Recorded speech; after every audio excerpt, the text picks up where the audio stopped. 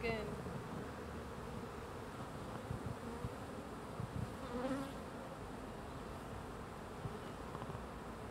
So there's only one queen in the hive. She's the only one, she's the mother of all those bees.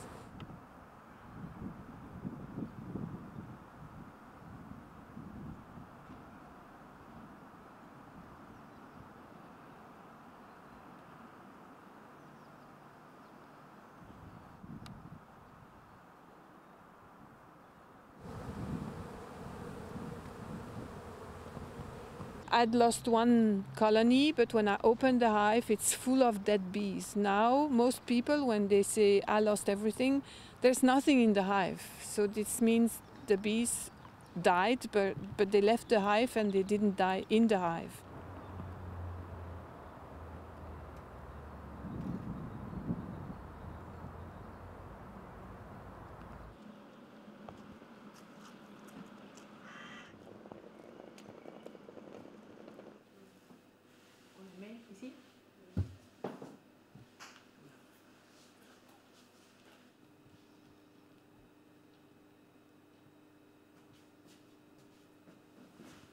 We need to consider that bees are environmental animals and everything that is out there can eventually affect them. No? So in certain places uh, there can be the weather that actually is um, making them weaker.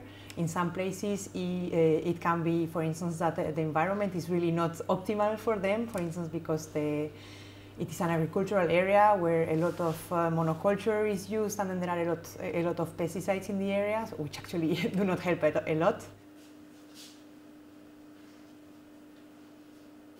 Because the problem with these neonicotinoids, no, uh, this is the, the name of these uh, insecticides, is that they are uh, very, very toxic, so very, very efficient uh, in dealing with pests, but also with non-target um, insects they are also extremely percent, uh, persistent in the, in the environment and they are hydrosoluble so then eventually they can um, they, they pose actually a big problem to aquatic aquatic animals but because they, they end up in the water and then they get distributed all over.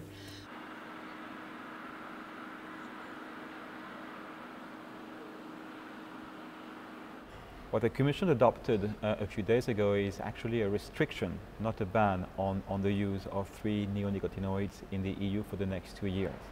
It's indeed the uh, direct outcome of a report which came from the European Food Safety Agency in January, uh, which uh, said that there were some concerns and some risks for the, uh, the health of bees uh, when it comes to the use of those pesticides for some crops in the EU. So the Commission launched a discussion with, with the Member States which went through some procedures called the comitology procedure. And in the end, the decision came back to the Commission because the Member States failed to reach a common agreement uh, either in favor or against the, the measure.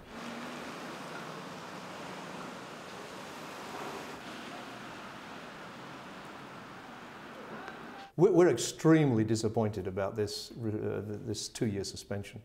And there are three principal reasons for that. First of all, there was nothing in the science that would indicate that this was necessary. Um, EFSA, the European Food Safety Authority, didn't look at all the, the data that was available. And if they had, uh, I think they would have concluded that this uh, was not the risk that their rather theoretical uh, approach based on a lot of laboratory style studies indicated. That's the first uh, reason. Second um, is that there's going to be an impact on agricultural productivity in Europe. And at a time when we've seen uh, productivity not increasing in the way that it is in other parts of the world. So that's a real issue. Uh, and our customers face a real challenge for that. And then thirdly, uh, this suspension is not going to do anything to help bee populations. Um, it just won't save any bees.